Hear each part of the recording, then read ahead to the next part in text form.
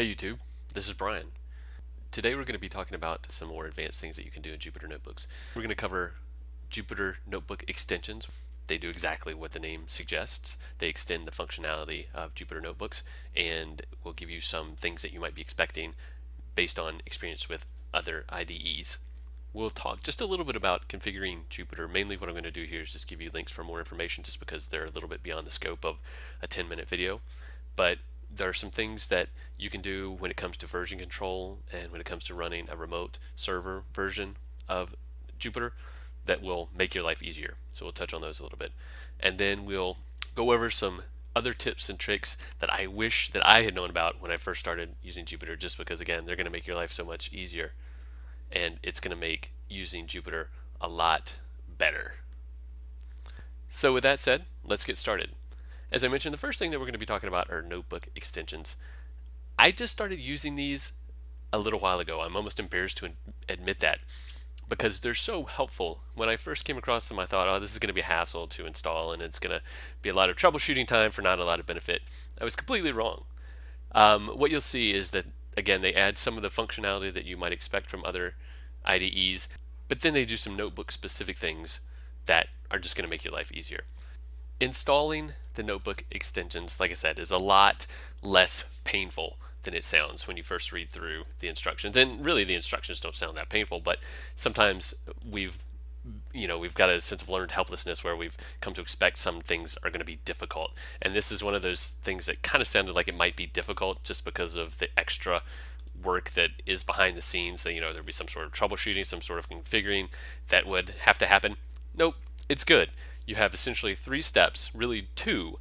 Uh, the first involves installing the Jupyter extensions package, and you would you install that just like you would any other module or package for Python with pip install.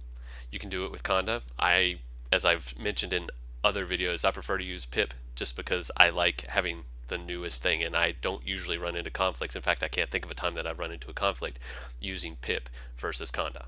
The second thing you're going to do is install some additional files that will make the extensions display and work properly in your notebook. And that's really all that you need to do. There's a third step here, but it's really for manually enabling and disabling extensions. What you'll see is that once you've done those things and restarted your server, then you're going to have this new tab, NB extensions, notebook extensions, obviously.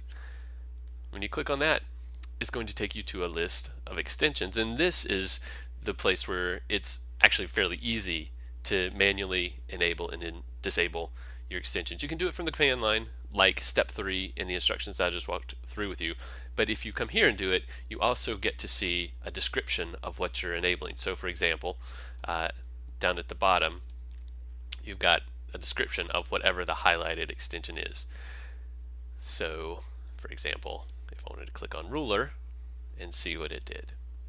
And then obviously to enable or disable them, you just click in the checkbox. And if it has a check, it's enabled. If it doesn't, it's disabled.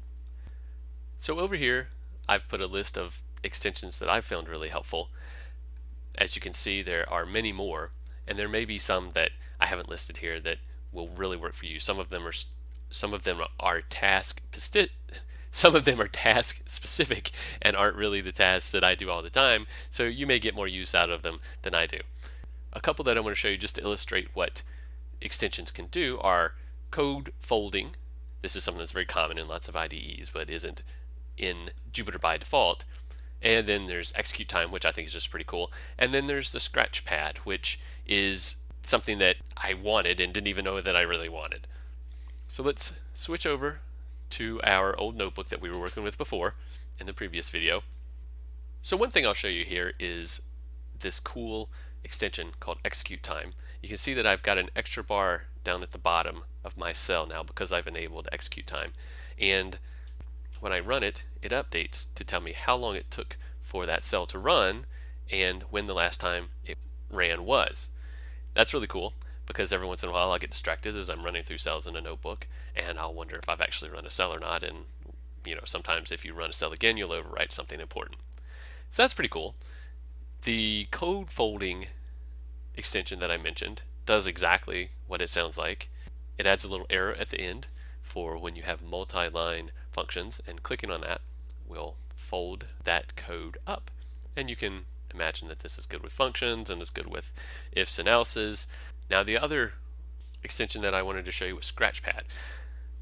A lot of times when you're just doing stuff interactively and you want to find out what 1 plus 1 is, you got to add another cell and you got to go down and run it. Now you've got an extra cell and you've got some extra output in your notebook that you don't really need. You just wanted to find out what the answer to 1 plus 1 was.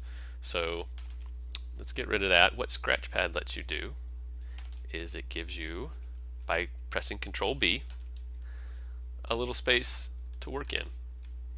So you can add this over here now, run it just the same way you would run a normal cell with Shift Enter, and then close it and get it out of your way and your notebook is your original notebook is still nice and clean. So those are three I think must have extensions but they also illustrate what extensions can do. Okay, so those are notebook extensions. Go check them out now. You're going to get a lot of use out of them. The next thing I wanted to talk to you just a little bit about is configuring Jupyter. There are some things that you may want to do that don't necessarily work that great by default. One of those things is running Jupyter on a remote server. So for example, if you're running AWS and you want to connect to Jupyter on an AWS instance, you want to make sure that it's secure as possible and there may be some things that you need to customize like you might want to change the port number that you connect to. For example you see by default the port number is 88888 maybe you've already got something running on that and you need to change it to 8887 or for security reasons you just want to change it to something unexpected. So Jupyter documentation has a lot of information about that. It will also help you set up things like a password. It will help you set up uh, some other things that you may want to configure, especially if you're working with remote servers. I've got the link here. I'll let you go check it out. I don't want to go too far into it just because it will take us down a long path that will be beyond the scope of this video. But go check it out if you want to run Jupyter on a remote server. It will make things easier and more secure for you. We talked in an earlier video about version control and how important it was. Well, this is one of the things that Jupyter gets wrong, and it's been this way since IPython.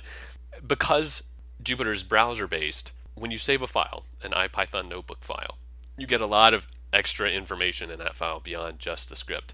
Ideally, you would have just the code, so when you change the code, it would be tracked in version control and you would be able to do a diff and know exactly what changed in the code. Those are the important changes that you care about. Well, because this is web based, there's HTML that goes on in the background here, and there's just all sorts of superfluous things. For example, the cell numbers. Each time those change and you save the file, you'll have a diff that changes this 10 to 15, for example. And so you don't really care about those. But when you're saving as IPython files, that's what you're getting. And if you're tracking those files, you're going to be tracking those as diffs. And it complicates version control a little bit because you're always getting changes regardless of whether any of the important stuff changed or not. Now you can do a couple of things to help out with that. You can have your IPython files save also as .py scripts. And so you can even just turn off the IPython tracking in your version control if you want to and just track those Python files. Or you can leave both of those on. Know that you're going to get diffs for the IPython files. Don't worry so much about those. Just look at the diffs for your Python scripts. So again, really getting it set up the way you want is beyond the scope of this, but go visit this website. It will get you started on it. It's a great uh, description of what the problem is and how to change some of your configuration files to do post save hooks they're called that will write in write files in different formats in general, if you want to know more about configuring Jupyter, follow this link. It'll walk you through lots of different things and tell you things that you need to do to actually make some of these changes. So for example, you've got to make sure that you have a Jupyter config file to do this approach where you do the post save hooks. You don't have one necessarily by default. This will walk you through setting one up. Okay, so as I mentioned, I wanted to cover some additional tips and tricks that would really help your productivity. I've posted a link here to an article on dataquest.io. I came across this a month or two ago and I was just blown away by how neat most of these 28 tricks were and how much I wish that I had known them when I first started using Jupyter.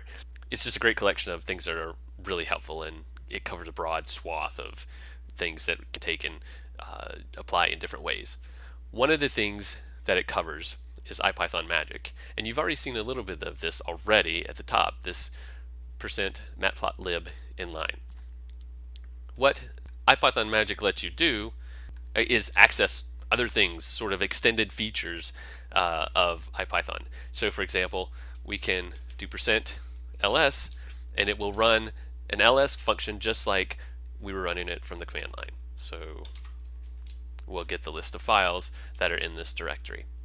We can do percent who and it will tell us all of the objects of a specific type that we have in our environment. So we do data frame, for example,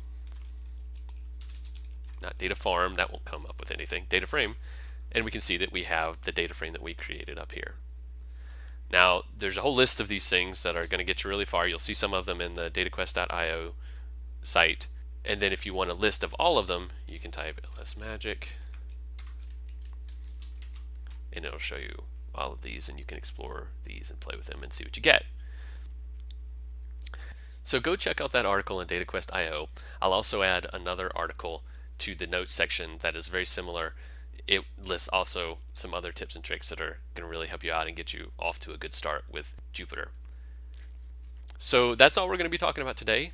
In the next video, we'll get to pandas and we'll talk about pandas like I suggested that we were going to do last time, but I wanted to come back and touch on Jupyter since we weren't able to cover the advanced stuff in the previous video and this is stuff that you really, like I said, this is stuff that I really wish I'd known when I first started working with Jupyter because it would have made things a lot easier for me. All right, well have a great day or night, whatever it is on your side of the world, and I'll talk to you later.